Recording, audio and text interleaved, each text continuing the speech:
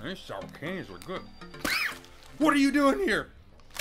I definitely do not have any candy. I don't know what you're talking about. but that being said, what's up, everybody? I'm the Bentist, and we're back with another YouTube video.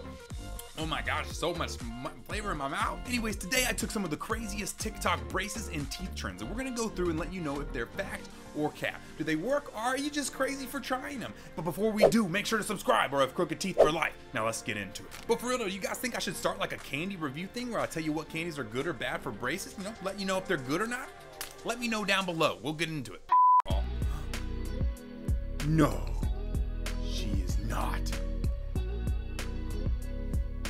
Oh, oh, okay. I ain't just not having any of that. Are you kidding me? This has been a trend for a little bit now where people take their emery boards and they file down their teeth or shave them into cane. I did one where we did one where a girl shaved her teeth into a, a vampire fang. But yeah, this is actually not a fact or cap. It is a fact that it is bad for you, okay? So don't do this. Every time you do that, you shave down your enamel. And when it gets too far, you get into your dentin. And if you get in there, you got nerve sensitivity, cold sensitivity. You can even go so far that you hit the pulp and some blood come out, and then you got to get a root canal and a crown. So this one, obviously, meh. So nah, don't do this. All right, so the next trend I saw is people trying to remove their braces. Check these out. My dentist will say. I'm a certified dentist, in my opinion. Oh, oh God, no! Please don't. Stupid. Oh, he just go. He just gonna call me stupid. Okay, well that's not it. Another girl went even a little bit further with it. Check this out. She straight up going in with pliers. Oh God. Oh, she already got the top off. Oh my goodness.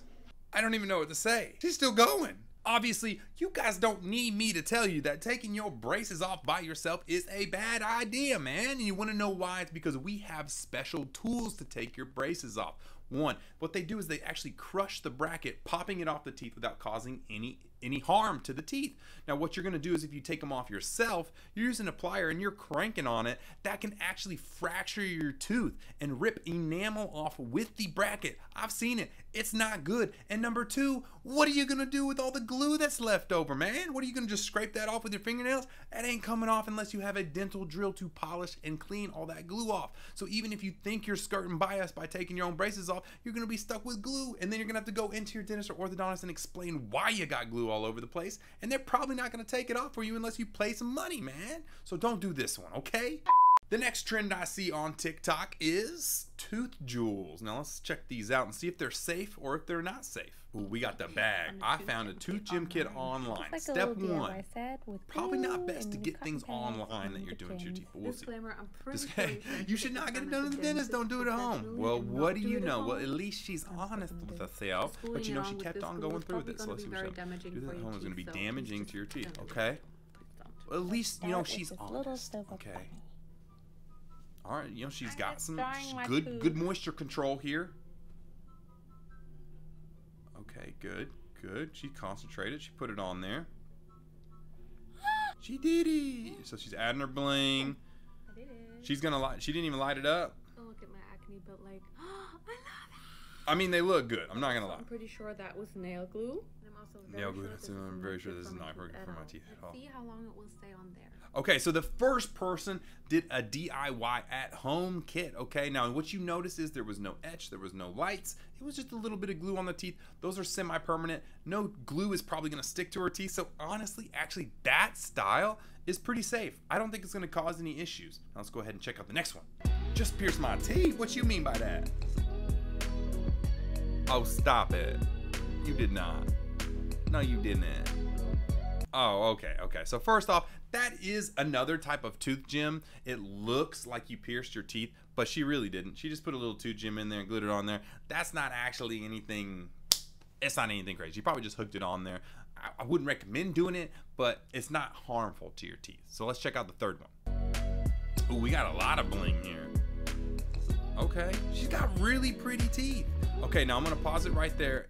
It looks like she's at a professional establishment probably not a dentist or an orthodontist, but maybe a professional tooth gem person. I don't even know if that's a real job or not, but let's see how they do it.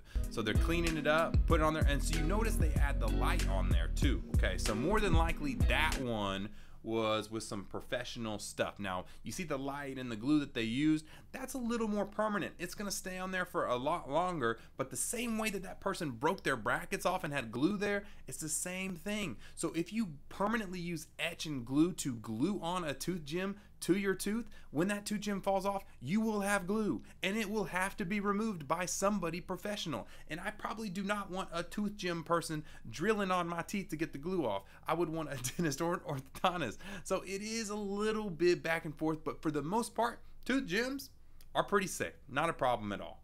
These next ones are just a couple of weird things that happen with braces and teeth and people in general. Let's check them out. Honestly, Can you explain how this happened? What you explain mean? how this happened. bleeding, man. No, she did it. She has her lip ring stuck in her braces. No. Obviously, that's one issue we have with tongue rings and with lip rings. Lip rings can get stuck. It's a lot harder to, but it can happen. And tongue rings actually can damage your teeth because you're click, click, clicking, clinking them all over your teeth, and it can chip and hurt your teeth. So don't recommend having any piercings or anything inside the lips or cheeks or mouth during braces. Oh, she just going right after a whole block of. What you doing? That ain't supposed to be eaten that way. It's some crunchy though. It sounds like she walking on snow. Oh, that must be some banging cornstarch. So what that is is that's a trend going on right now. Cornstarch. Just eat eating cornstarch. People say it tastes sweet and powdery goodness. But I'm gonna tell you right now, this trend's you know, actually not terribly too unsafe. Cornstarch is really just straight up carbohydrates, okay? The only issue is is that sometimes uncooked it can have bacteria and pathogens and things like that inside of it. So normally you do want to cook it, but eating raw cornstarch really won't cause that much of an issue. One thing though that is interesting though is if you're really craving cornstarch, you could have anemia or low blood iron in your blood, which is crazy. So if you are craving a lot of cornstarch, you might want to go get checked out by a doctor. Now this next one is the weirdest one I found of the whole entire day. Addicted to eating addicted plastic. to eating bottled plastic? What? Oh no. eaten 12 remotes, over 5,000 beads, over a thousand Okay, where's- cocktail swords, a hundred forks, about Oh. 10 water bottles, two pacifiers. Uh, so- It's like so many plastic items in your house. How do you eat all of them at the same time? 25 plastic lids on to-go cups. Okay, so anyways, do I even need to speak on this one? Okay, I mean, obviously eating plastic is not normal and not good. If you eat on plastic and chew on plastic, you're probably gonna break a tooth, okay? Because it's hard, it's not meant to be chewed. Too, you can't really digest it. No nutritional value in plastic, homie. And plus there's tons of chemicals and issues that I am sure that I am not qualified to speak on, but I can't say that it is gonna be good for you. So I'm gonna have to pass on this one, okay? We are 0 for like 5,000 on things so far. Let's see if we can find some good toothbrushing ways to whiten your teeth. Let's see if any of these are fact or cap. Let's get into it. So right out of the gate, it looks like we have some charcoal. Ooh, brush with this for five minutes for whiter teeth. She really getting in there. And you know what I'm saying is like that charcoal just makes your teeth all black. Ooh. Man, rough. Okay, so charcoal toothpaste. Bentist, does charcoal toothpaste work or no? Is it capped or fact? I'm gonna go ahead and tell you that this is cap. And the reason why I'm gonna say this is cap is because yes, it does make your teeth whiter, but for the wrong reasons. Okay, charcoal toothpaste is actually a very, very highly abrasive thing. It's almost the same as if I told you to brush with sandpaper. Yes, if you brush your teeth with sandpaper, you will get some stains off and your teeth will look whiter, but you're gonna have terrible sensitivity and it's gonna harm your teeth over time. So, as a safe, viable way to whiten your teeth, no. Stay away from charcoal toothpaste with everything you got. Now, the only exception is if you find in the supermarket charcoal toothpaste that is enamel safe. Now, this is where companies want to hop on the bandwagon of black charcoal toothpaste without actually having charcoal in it. So, it basically is just black toothpaste. Now, let's see if this next one works as a whitener. Okay, so next up we got turmeric and whitening secret that I've coconut oil. Years. Forget white strips. Okay, forget the whitening toothpaste. oil. Use this. You're gonna we take see a this all the spoonful time. of coconut oil, oil and some turmeric powder. Shake that Okay, in, so and you're gonna make a paste. she- it doesn't look like she's Also, don't like use she's your mixing regular it all toothbrush. together. Use a dollar store She's gonna make a little toothbrush or paste out of something cheap.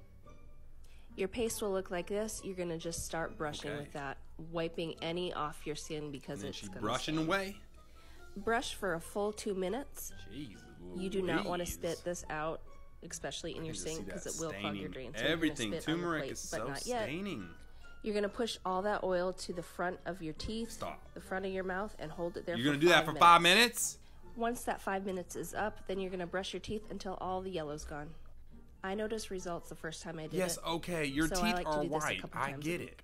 Okay, once again, let's talk about it. Okay, we got two different things in here. So one is the turmeric as a whitening ability, and then also oil pulling, which is just switching around coconut oil in your mouth for five to ten minutes. Now, both of these are complete cap. Okay, don't waste your time doing this, man.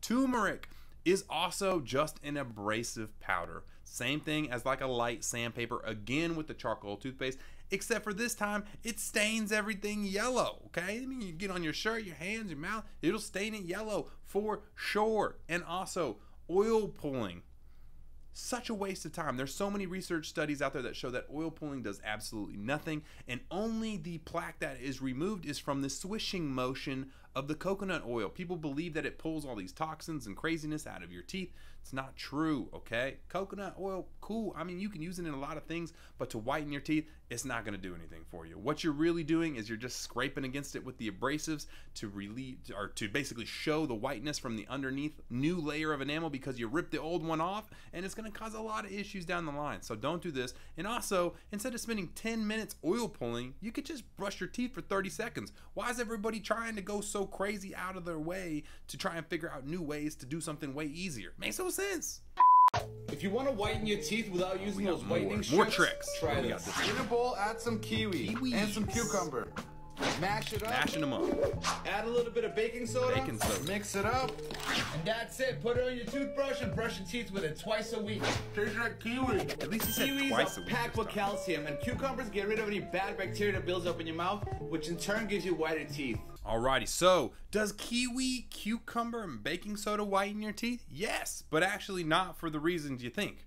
Once again, we found the culprit again. It's the baking soda or the baking powder that is actually causing the whitening of the teeth. It's just an abrasive. Again, we use it Arm & Hammer baking soda toothpaste, guys.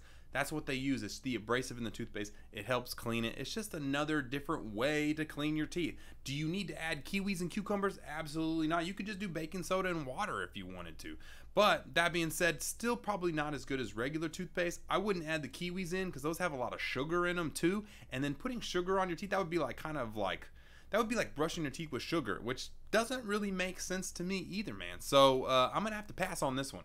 saw a dentist on TikTok saying Okay, that the got main ingredient in whitening strips was hydrogen peroxide and it's really cheap to buy on its own. Now, if you're a dentist, don't tell me this is wrong. Save me the grief. The damage has already been see. done. So okay. she's dabbing the But hydrogen peroxide I on there. a I like how she's being very careful just- with it. it. has to be three percent, and I dipped it in Putting a with little on a bud and wiped it on my teeth for about thirty seconds to a minute.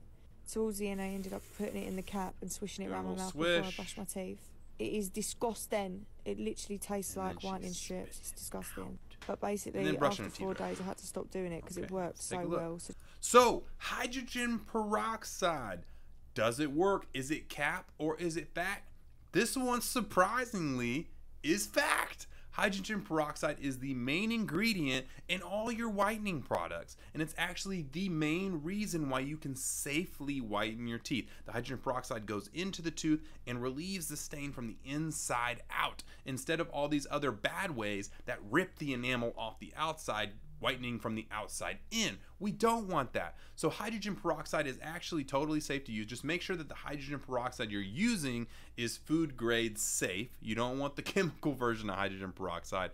And also for long-term use it can cause issues with your gums and tongue and cause oral hairy leukoplakia, which is like a big brown hairy tongue. You probably don't want that. That being said, there are plenty of ways to get hydrogen peroxide in safe ways. In toothpaste that's whitening, in mouthwash that's whitening, and whitening strips. All of those use hydrogen peroxide as the main way to whiten your teeth, and that's why it's the best way to whiten your teeth. Now, that being said, this way technically works. So, yeah. So there you guys go. We went through everything today. We went through different trends. We told you if they were cap, if they were fact, if they work, or if they didn't. And hopefully you guys are a little bit more educated on everything that has to do with teeth and braces. Make sure to hit that like button. Comment down below which one was your favorite. What do you want to see next from me? You want to see reactions? You want to see candy review videos? What do you want to see? Stuff with me and Megs? Let me know. I love you guys so much. We're over a million, shooting to the moon for two million. Till next time, I'm the Bentist. We'll see you later.